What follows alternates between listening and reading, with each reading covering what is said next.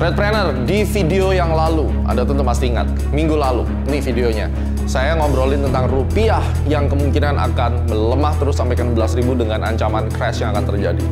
Hari ini 25 April 2022, Anda lihat chart rupiah tiba-tiba meledak keluar dari konsolidasinya dengan candle yang hijau panjang sekali. Cuplikannya Anda lihat apa kira-kira menjadi dasar pemikiran saya dan pastikan nonton video ini sampai habis karena saya akan memberikan tips-tips untuk memanfaatkan peluang ini untuk make money. Mari kita lihat dulu cuplikannya.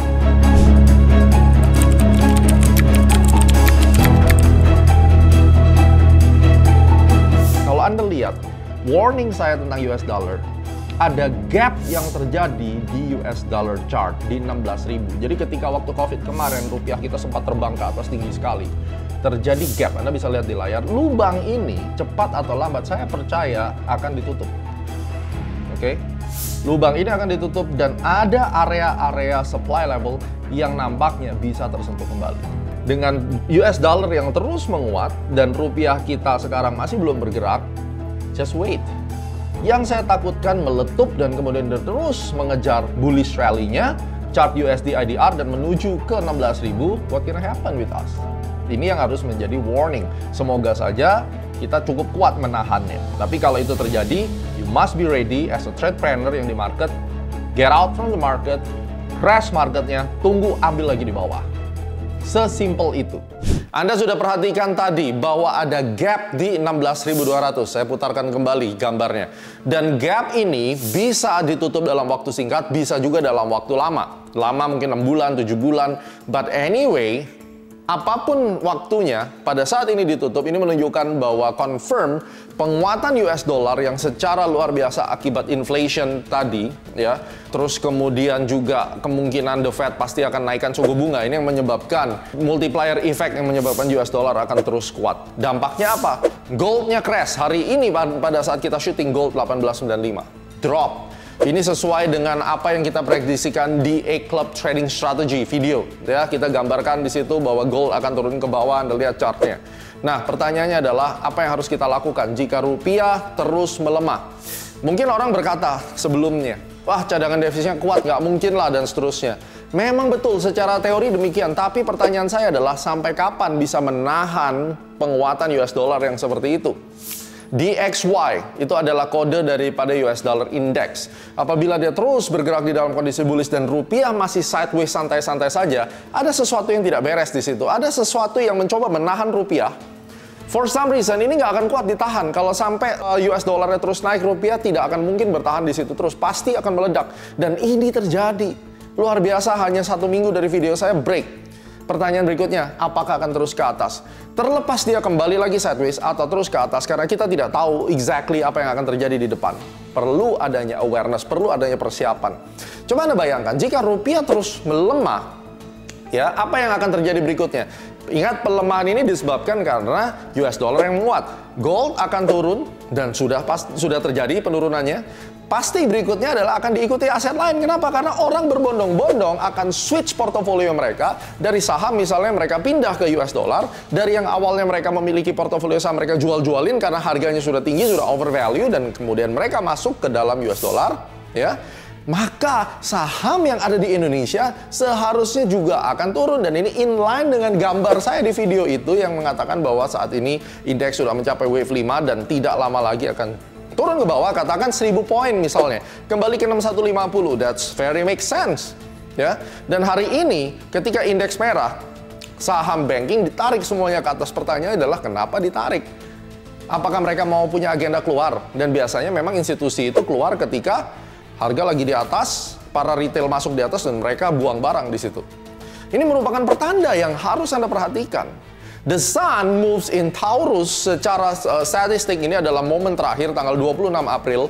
Biasanya 26 April ini akan diikuti dengan sideways atau slowing down. Kita combine ke Dow teori fase ekses terjadi, distribusi pelan-pelan terjadi, dan biasanya triggernya adalah seperti ini, misalnya penguatan US dollar, pelemahan rupiah. Kalau kita kembali sedikit ke rupiah 16.200 itu kurang lebih berapa persen? Anda hitung sendiri. Mencapai 16.200 apa yang akan terjadi dengan indeks kita? Bagaimana dengan saham-saham yang lain?